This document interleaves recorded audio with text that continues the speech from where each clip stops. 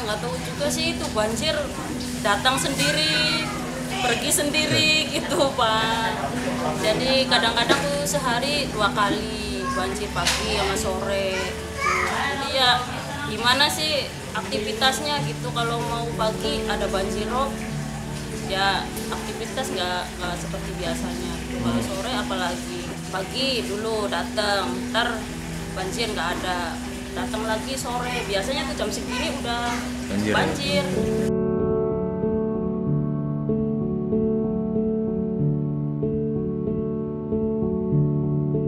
Pertama perkenalkan dulu nama saya Eni. Eh, saya bekerja di perikanan selama lima tahun. Pengalaman saya yang sebenarnya tuh sejauh ini eh, penangkapan ikan berkurang, jadi penghasilan saya ya sementara berkurang juga.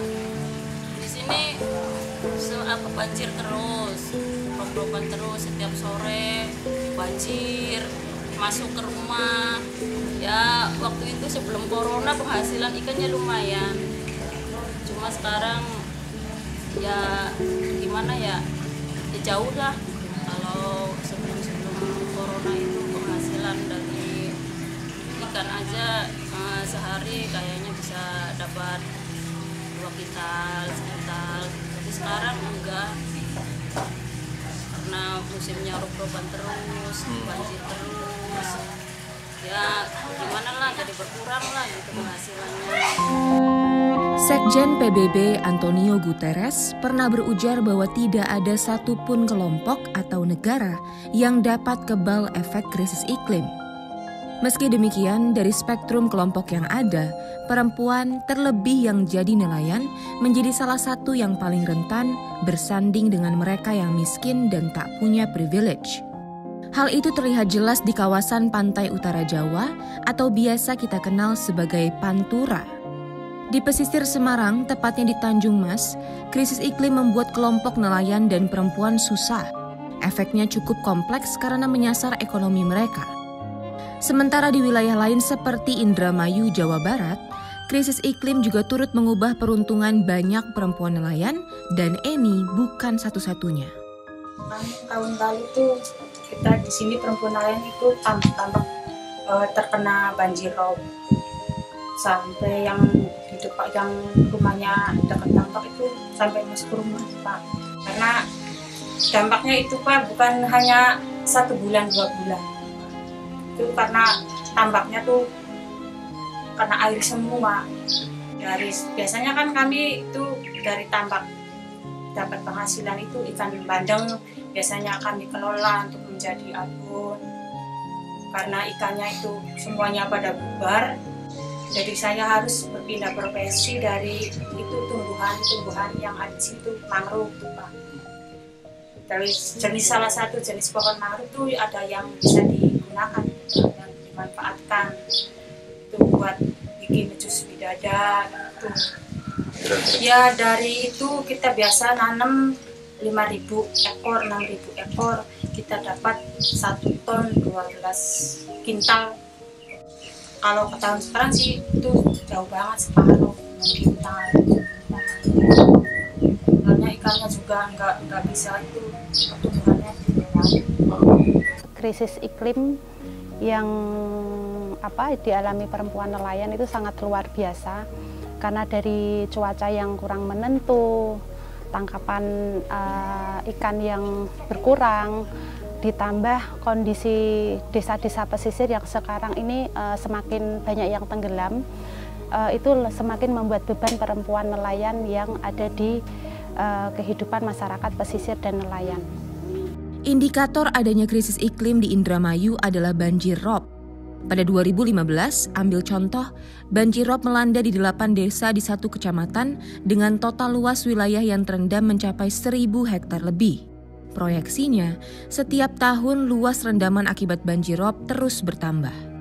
Banjir rob disebabkan oleh berbagai faktor, seperti topografi wilayah, kenaikan gelombang air laut, sampai curah hujan tinggi, di Indramayu, curah hujannya cenderung mengalami peningkatan.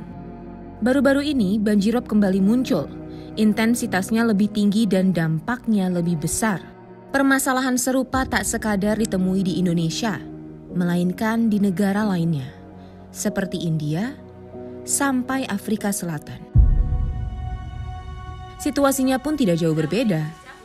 Krisis iklim membuat beban perempuan nelayan bertambah besar lewat sederet pukulan dari tangkapan ikan yang menyusut hingga meminggul tanggung jawab untuk menghindarkan keluarga dari jurang kemiskinan. Uh, ya, uh, dari tangkapan ikan yang berkurang itu uh, jelas uh, untuk modal perbekalan melaut pun itu juga uh, awalnya juga modal hutang, bis, uh, membeli BBM kayak solar, uh, beli es batu, uh, bekal lainnya itu uh, adalah awal dari hutang, di mana uh, dari tangkapan sendiri kalau tidak ada hasil itu hutang uh, jelas menumpuk di mana apa yang uh, bisa dilakukan perempuan yaitu uh, kalau punya tabungan uh, bolehlah uh, mereka memanfaatkan tabungan yang disimpan. Tapi uh, kebanyakan uh, masyarakat nelayan itu sulit menabung karena memang pendapatan yang kurang menentu itu. Jadi uh, perempuan uh, kalau bisa hutang yang dilakukan hutang atau menjual yang bisa dijual, bahkan menggadekan apa yang bisa digadekan untuk menutup kebutuhan kehidupan masa uh, kehidupan keluarga nelayan itu sehari-hari. Posisi perempuan nelayan sendiri di Indonesia sebetulnya sangat krusial dalam mata rantai perikanan dan kelautan, perempuan nelayan memegang posisi di empat tingkatan. Praproduksi, perempuan nelayan menyiapkan bekal melaut. Produksi, sebagian perempuan nelayan ikut melaut. Pengolahan, perempuan nelayan berperan dalam mengolah hasil tangkapan ikan serta sumber daya pesisir lainnya. Pemasaran, perempuan nelayan memilah, membersihkan, dan menjual hasil tangkapan melaut. Tak ketinggalan, 48 persen pendapatan dari keluarga nelayan disumbang oleh kontribusi para perempuan di dalamnya. Masalah tidak berhenti sampai di situ. Krisis iklim kian memperpanjang daftar rintangan yang dihadapi para perempuan nelayan. Sebelumnya lebih dulu muncul diskriminasi yang termanifestasi melalui kurangnya pengakuan profesi untuk para perempuan nelayan. Sejauh ini, mereka hanya mendapat status sebagai ibu rumah tangga di kartu identitas.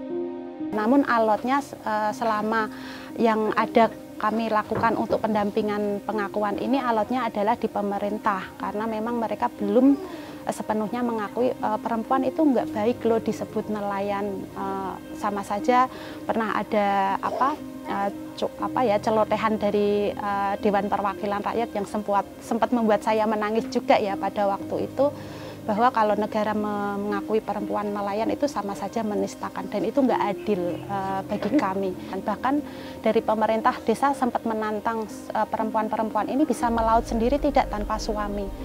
Terus uh, kami balik tanya, suami bisa melaut tidak tanpa istri? Nah, sebetulnya mereka ini tidak hanya posisi siapa yang membantu, tapi mereka memang benar-benar uh, bekerja sama ketika melakukan aktivitas di laut antara suami istri tidak ada yang uh, disebut pembantu atau sebut buruh. Tidak diakuinya profesi mereka sebagai nelayan di KTP merupakan kerugian. Lantaran dengan begitu mereka tidak bisa membuat kartu nelayan yang dapat membuka akses ke berbagai pemenuhan hak. Ketika sama-sama laki-laki mendapat resiko di laut, mereka dapat jaminan perlindungan loh dari kecelakaan, dari musibah sampai kematian. Nah, perempuan ini sama-sama mengalami resiko, tapi mereka nggak dapat perlindungan. Keadaan diperkeruh dengan adanya konflik ruang di berbagai wilayah yang mengancam posisi maupun penghidupan perempuan nelayan. Kalau ngomongin perampasan ruang, eh, sedih ya, Mas. Eh, jadi uh, dampak dari perampasan ruang uh, dari kepembangunan kebijakan pemerintah yang salah urus menurut kami ya banyak pembangunan-pembangunan yang merugikan masyarakat pesisir yang terdampak.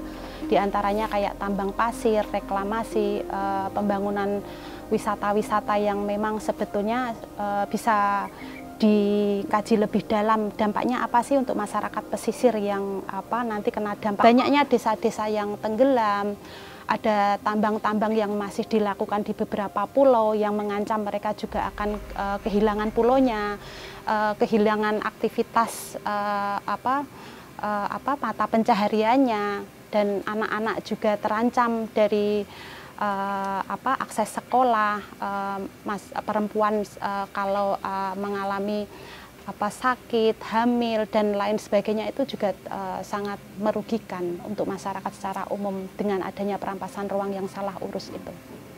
Kebetulan saya sebagai perempuan nelayan karena kebanyakan di sini itu ah, kebanyakan itu tampak. Uh, jadi ya harus gimana ya saya tuh harus berprofesi sebagai perempuan nelayan karena sesuai yang usaha yang ada di sini. Ya sebagai perempuan nelayan saya harus berpikir jernih itu menghadapi uh, yang gejala kayak gitu. Soalnya siap tidak siap pasti akan kejadian seperti itu. Jadi ya kami peta, uh, perempuan nelayan merasa uh, banyak kerugian uh, ya banyak yang jadi pengangguran. Hmm. dari bapak-bapaknya juga karena semuanya berprofesi sebagai nelayan.